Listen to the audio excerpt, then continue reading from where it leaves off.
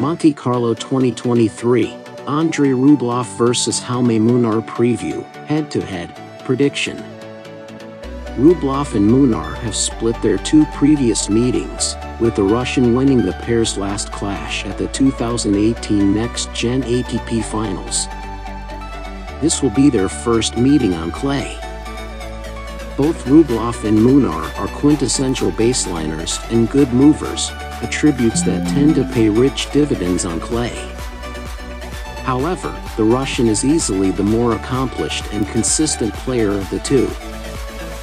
Rublev has had a steady, if not spectacular, season, which is in sharp contrast to Munar, who has struggled to win consecutive looting thrice in a row in the third set before fighting back to live another day.